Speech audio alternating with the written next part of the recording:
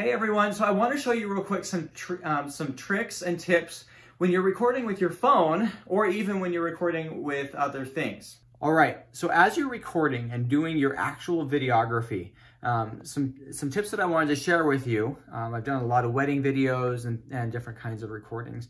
And so I wanted to show you some tricks and things that you can use. As you're thinking through, you have a lot of different kinds of shots. Um, some of them are gonna be really wide so you can see everything, whereas some of them are gonna be closer up. So I wanted to show you a few ideas for how you can do this. So when you are recording with your phone, what you can do is always make sure that you're holding with two hands and then of course flare out your fingers to make sure that you're not doing the classic grandma took my picture and there's a finger straight across the image. Um, so watch out for your lens, hold it out that way. It also will help so that sound, what happens when you hold it like this, the sound cups in and catches the microphone better. Um, you also want to take your arms, bring them in tight, okay? My daughter's recording and she just did it. That's awesome. And what you're doing by bringing your arms in tight is you're creating your own tripod out of yourself and it will help you stabilize a little bit more rather than having it out free because we're trying to get a good quality shot that's stabilized. So we want to bring our arms in, okay? All right, now as I'm recording, I'm going to become a human tripod. And we want a variety of shots that do different things. So sometimes you might want to pan where it moves, or sometimes it'll go closer or back. Now, as you do these things, remember, always go slower than you think you should go, and it will be more effective. Don't go too fast. But if I'm uh, here on the bookshelf, I have some uh, some things, uh, some old things. That um, this is my great great great grandmother's iron.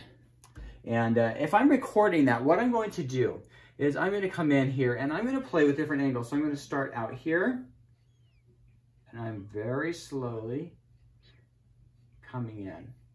And then I kind of go off to the side a little bit and that will allow me that I can do some crossfades and some cuts. And then what I'm gonna do is I'm gonna come in down here and I wanna catch some of these cool details. And I'm going slow. Okay, and I'm doing several little clips now and I'm getting different angles. Watch your light, watch your shadows you might find that you're suddenly creating a shadow with your own body. So watch that. So as I'm doing this, you can see how close I am to the, to the object that I'm recording.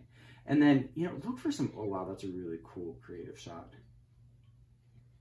So as you start going, you're gonna find some really fun creative things and it's gonna start inspiring you and you're just gonna start with all these different shots. And of course, you know, I'm, I'm videoing an iron the most exciting subject you will ever find in the world, right? No, um, you're gonna be doing some really cool how-to videos, and so the nature of your shots will be a little different, but look for, look for detail shots, for texture, for things like that.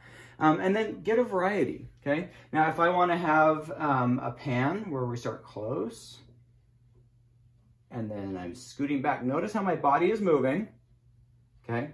And then I'm gonna start here, and move over.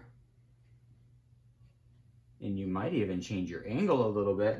My phone was literally turning like this, slowly of course. Um, but all of these things together are helping me create kind of a variety of shots that I can then put together, add my voiceover to, and we go from there. So if, for example, you're cooking something and you have, or if you're, um, so last night I was making hamburgers on the grill. And so I got out my phone and I was playing with some shots and I'll show you some of those now um, so you can get a feel for how this can be done.